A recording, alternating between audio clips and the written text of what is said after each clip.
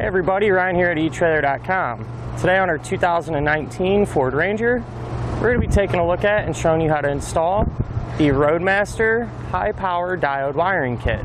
Now many of our customers are relatively new to the flat tow world and they can feel a little overwhelmed on which components to get. Now it's actually relatively simple. There's going to be five main components for the Ranger. You're going to need a base plate, a diode wiring kit, a braking system, a tow bar, and safety cables. Now the purpose of this kit is to transfer the lighting signals from the back of your motorhome to the back of our Ranger when we're flat towing. Now that's not only going to keep you safe, it's also going to keep you legal. It's going to provide us with those basic lighting functions. Our turn signals, our running lights, and our brake lights. Now one thing that separates this kit from some of the others is the fact that it uses diodes. Now those diodes are going to protect our truck's factory wiring if a short were to occur in the motorhome. Now more often than not, a flat tow setup is going to require the use of a six-way connector just like this. And if you need one, you can pick one up here at eTrailer and convert our wiring over to it. Now many of our customers said they really like how reliable this kit is and they haven't really had any issues once it's installed. Now one thing I do want to point out, during your installation when you're hooking your diodes up, the terminals can be a little bit fragile, so just be careful and conscious of that when you're connecting them together. Speaking of which, let's go ahead and hook it up together now. To begin our installation, we're first going to remove our driver's side tail light. And to do that, we're going to have two fasteners that we're going to need to remove using an 8 millimeter socket.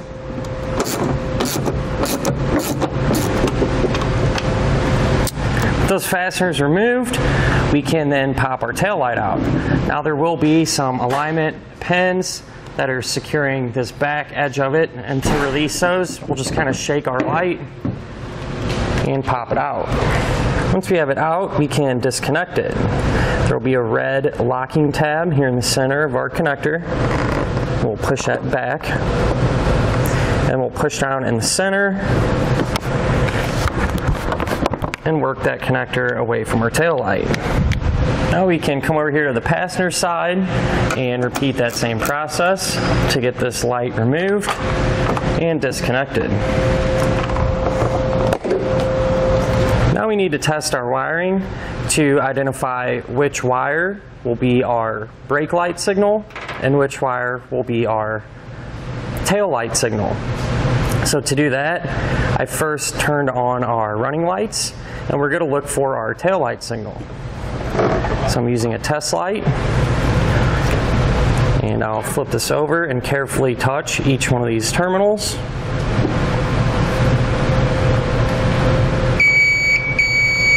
So we have a signal there on this third one, which will be our black wire with a white stripe.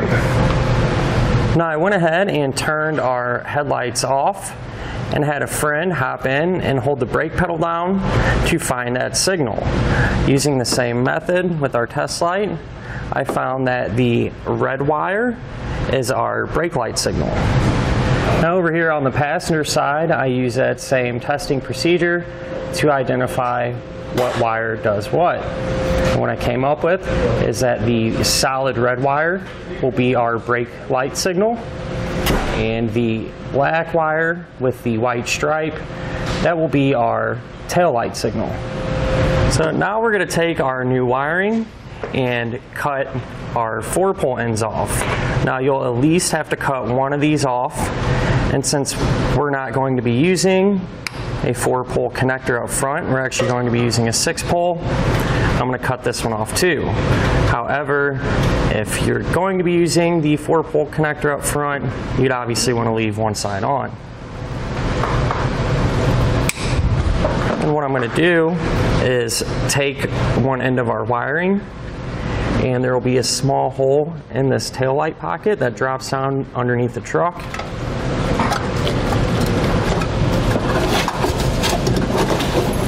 Once we have about five foot of wire left up top, what we're going to do is separate our green wire from the other three. It'll just peel away from it. And we're just going to take this single green wire and feed it down through that same hole. All right, now with our three wires, we're going to peel the ends back to separate them. Just a few inches, enough to make it a little easier to work with them. And then I can use some wire strippers to peel back some of the insulation, exposing the copper underneath. From here, what we're going to do is take our brown and white wire and twist the two ends together. And twist our yellow wire by itself. And now we can connect some of our spade terminals. Now for the brown and white wire, we're going to be using this yellow terminal. Slide that over and crimp it down. And for the yellow wire, we're going to use the blue terminal. Once again, slide it over and crimp it down. Now we can take our factory wiring and what we're going to do is kind of pull back some of this wire loom and remove some of this tape that's holding our wires together. That way we can have a little more room to work. Uh, once we have our tape pulled back enough to have some room to work, what we're going to do is take our solid red wire and our black wire with the white stripe and cut that in half. I'm going to go about right here in the middle. That way we don't cut it way too short if we ever have to make any repairs or anything like that in the future. And once we have them snipped, go ahead and peel some of that insulation back. Now on each end, what we're going to do is take all blue connectors and crimp those down.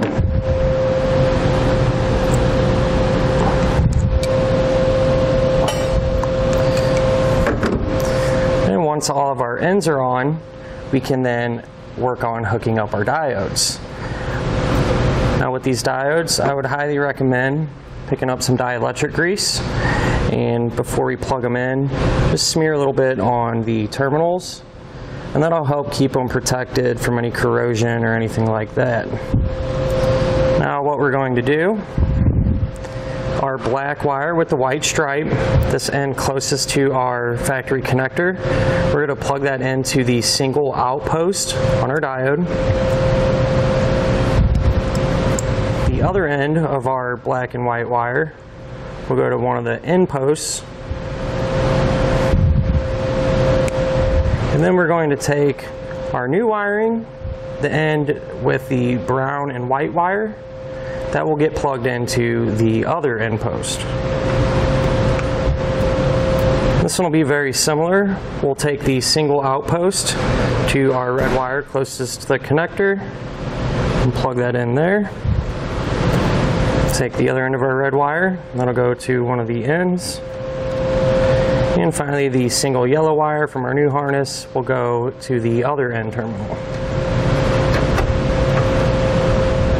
One of the back sides of our diodes, we're going to have some two-sided sticky tape. We're going to peel that backing paper off.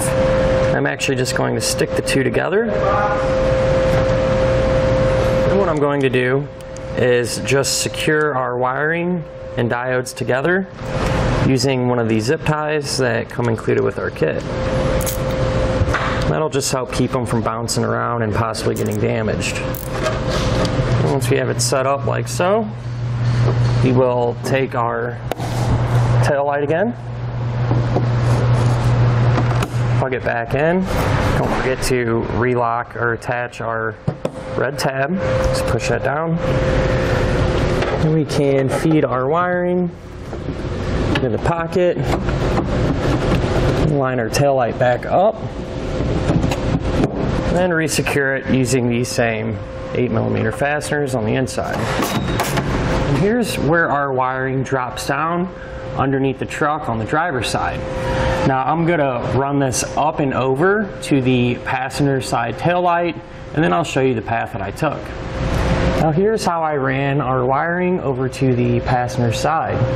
It came down on that tail light pocket, and I just ran it up along this portion of the frame. And I secured it using some zip ties along the way. Now, and I used that same hole to get into that tail light pocket. Now the only wires that I pushed up there were the green wire and the white wire. Something I do want to point out though, what I did with the white wire is I actually separated it and cut it from the rest of the wiring. That way the end of our white wire that goes up into our passenger side, the other end of it will be the end that we connected in the driver's side. So essentially what we did with this white wire was just use this for a jumper from the driver's side over here to the passenger side. So here's where our green and white wire comes up through the passenger side taillight pocket. And what I'm gonna do is cut off some of this excess wire just so we don't have a whole bunch of it. We still wanna leave enough, we have enough room to work. So I trim that back and we're gonna strip some of that insulation on each one. And from there, we're gonna take one of the blue connectors and crimp that on.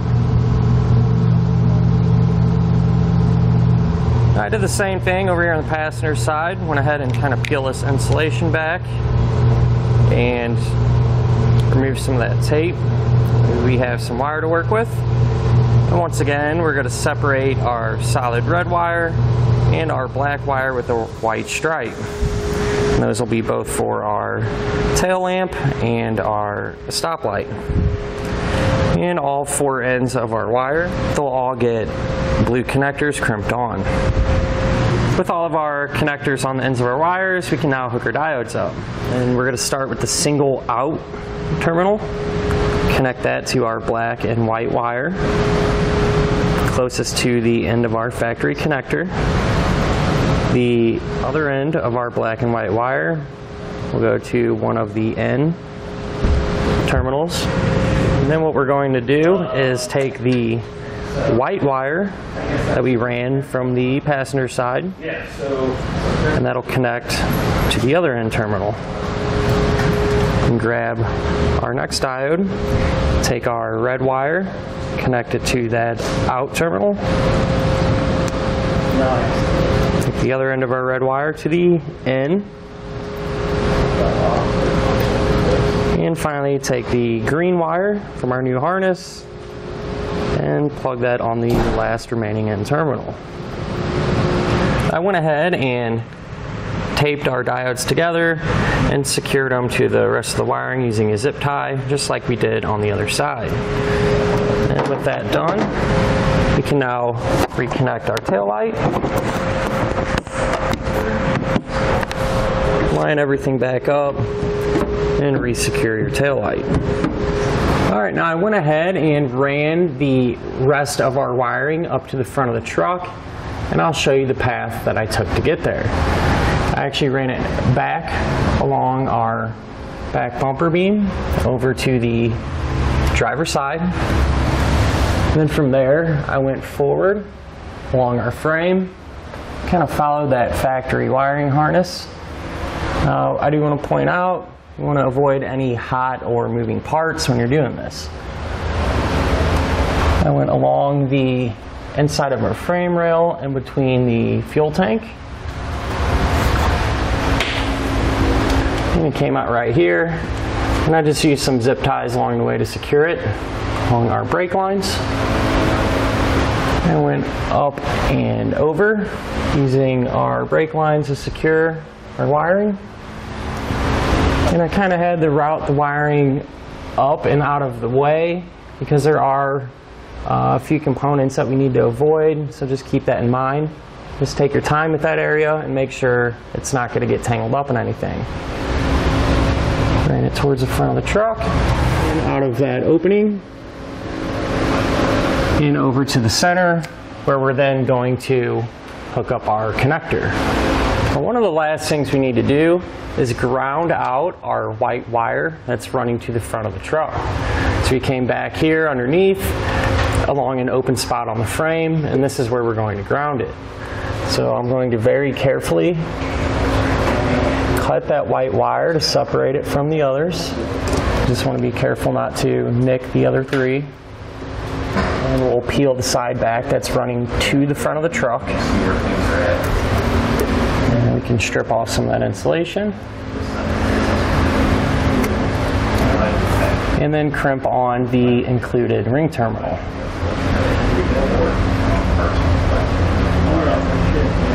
And with our ring terminal crimped on, we'll take the included self-tapping tech screw and secure it to the frame.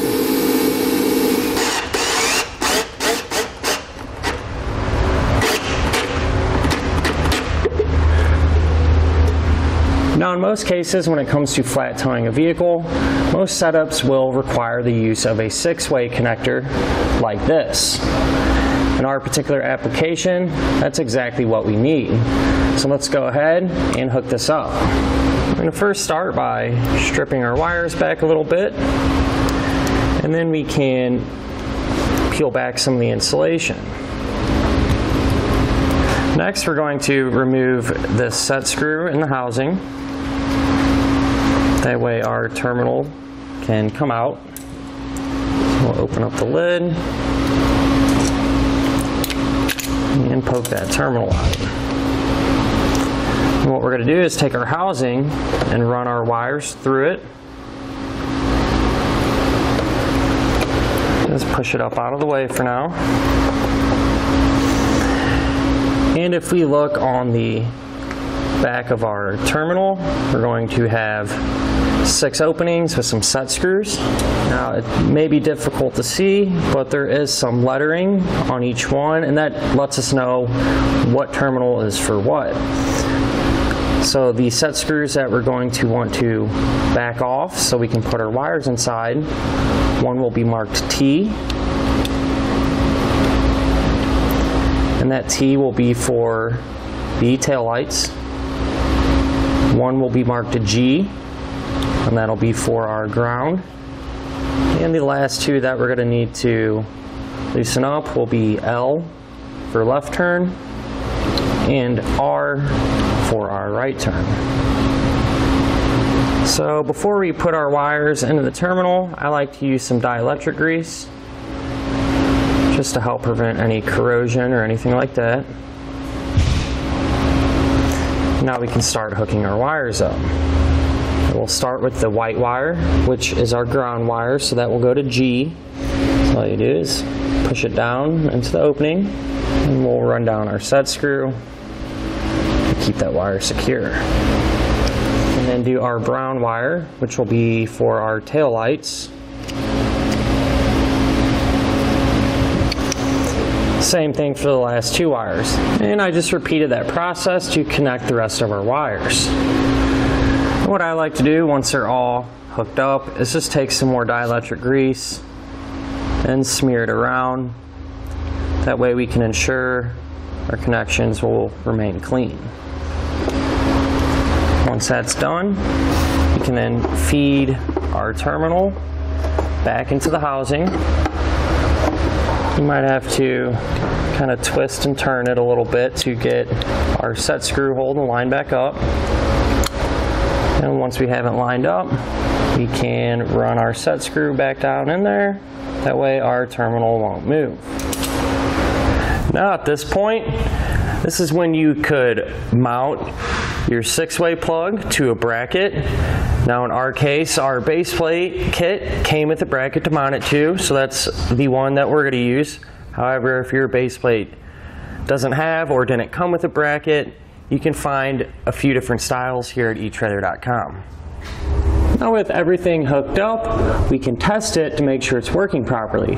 Now I'm just using a tester, but if you don't have one of these, you can just hook up to your motorhome and do it that way. All right, so now we'll go ahead and power it up and check our tail lights, our left turn,